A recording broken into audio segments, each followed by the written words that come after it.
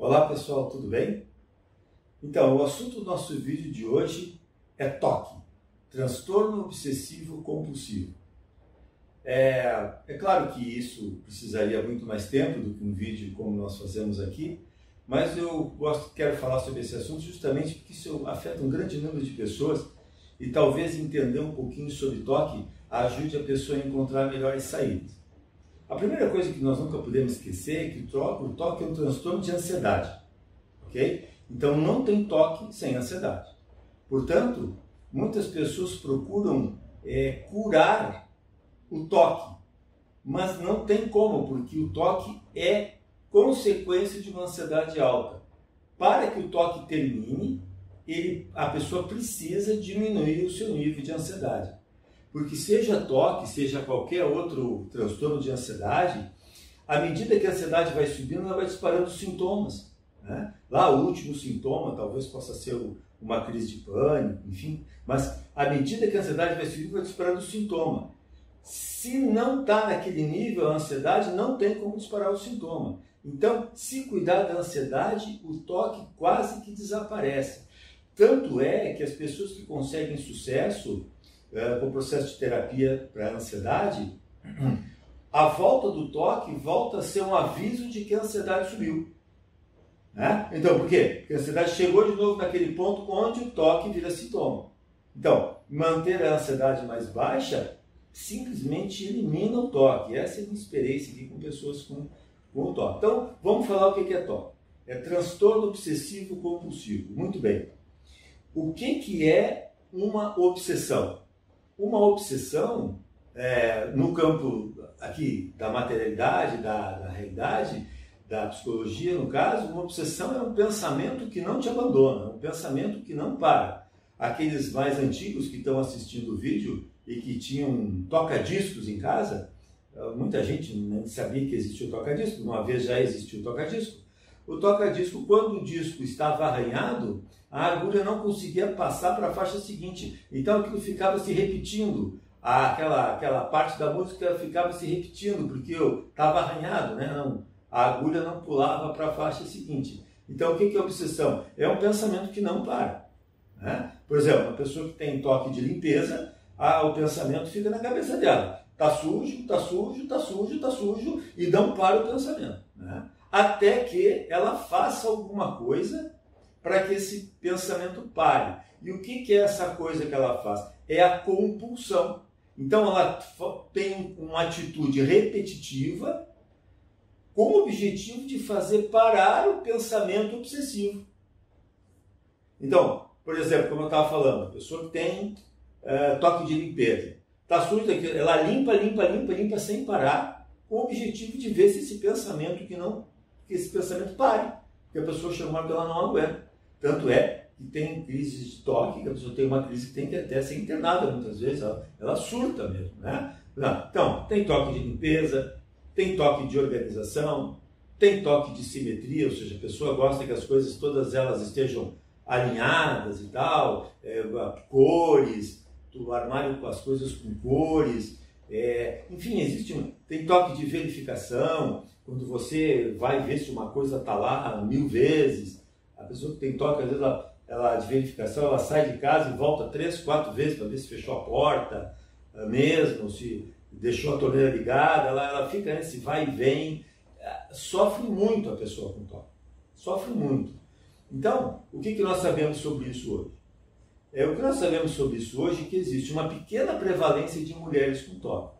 Mas é pouca coisa, é quase metade, metade que, desde os primeiros sintomas, a pessoa leva em média 10 anos para procurar ajuda.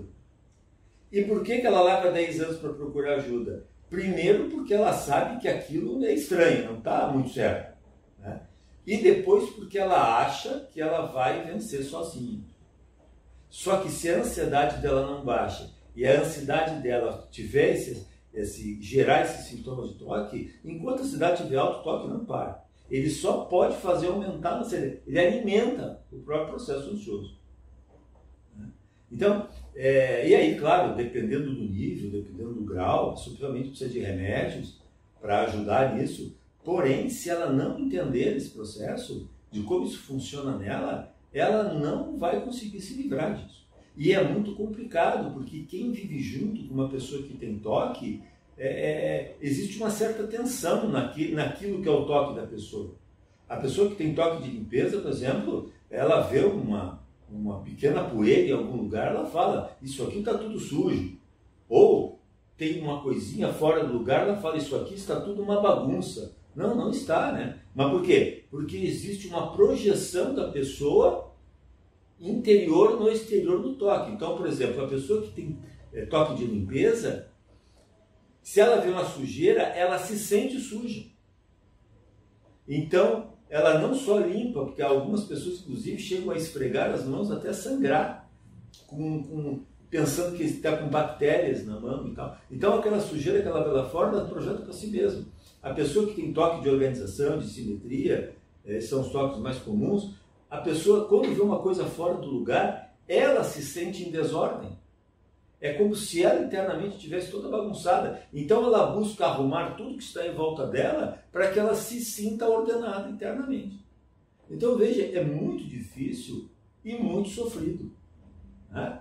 Então é muito importante que a pessoa trabalhe a sua ansiedade, procure entender o processo ansioso, como a ansiedade funciona, porque os remédios amenizam os sintomas, mas eles não, eles não resolvem o problema que é mesmo a ansiedade, que é um processo mental, é um processo do jeito de pensar, porque senão isso vai ser um sofrimento.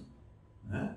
E a pessoa sofre muito com isso, às vezes ela tem de se isolar, né? É, as pessoas que convivem com ela se sentem mal com isso, né? porque fica difícil, tudo tem que ser daquele jeito, é, é, tem a pessoa, por exemplo, que toca de contagem, né? ela conta as coisas o tempo todo. Então, ela conta talheres que na gaveta, sabe quantos talheres que ela conta talheres toda hora, ou conta isso, ou conta aquilo. É, a pessoa tá, ela fica completamente dominada por isso, por esse pensamento que não para, e ela tenta fazer coisas com o objetivo de que o pensamento pare, mas isso só vai piorando a situação. Então, se você conhece alguém que tem um transtorno obsessivo compulsivo, e existem vários, tá, pessoal? Eu citei aqui os mais comuns, mas tem toques que vocês não são capazes de imaginar a, a, o quanto isso pode ser variado. Que peça que essa pessoa procurar uma ajuda. Se tiver muito grave, tiver muito difícil, procure um médico psiquiatra, que é um profissional habilitado, especializado em, em lidar com isso na questão dos remédios, né? mas que também faça uma terapia para procurar entender o processo da ansiedade. A ansiedade, como eu costumo dizer, é uma árvore cheia de galhos. Né? Ah, o galho é toque, pode ser depressão, pode ser fobia, pode ser problemas orgânicos, até problemas de pele, gastrointestinais, enxaqueca, seja o que for. Não. E a ansiedade é a raiz da árvore. Então não adianta você podar o galho se a raiz da árvore continua saudável. Ou seja, se a ansiedade continua, mesmo que tu pode aquele galho e virar outro galho depois. Então, também nessa árvore tem o tabagismo, tem o alcoolismo, tem as drogas, tem as compulsões em geral. Né? Então, o, o toque é um processo ansioso. Se não tratar da ansiedade, o toque não termina. Ele gera muito sofrimento para a pessoa, porque ela fica escravizada por aquilo. Ela tem dificuldade em se relacionar, porque é, é difícil conviver com alguém que tem um toque muito forte. Né? E só que a pessoa, às vezes, ela acha que vai conseguir. Então, ela fica focada no toque, quando na verdade o problema dela é a ansiedade. Ela fica preocupada em, com o galho da árvore, mas se preocupa em atacar a raiz do problema. Ok? Eventualmente aqui no canal, eu vou estar, como já fiz com outros, outros temas ligados à ansiedade, eu vou colocando aqui alguns dos transtornos, dos transtornos de ansiedade, toque é um deles.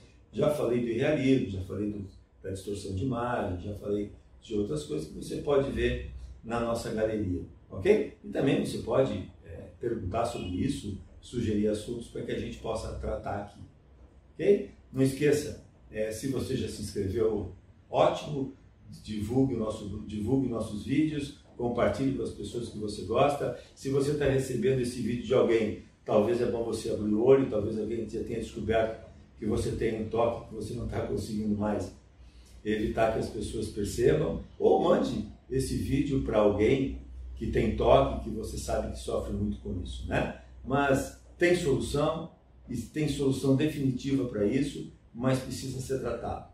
É muito sofrimento e tem saída. Legal, pessoal? Então, obrigado e nos falamos no próximo vídeo. Até lá!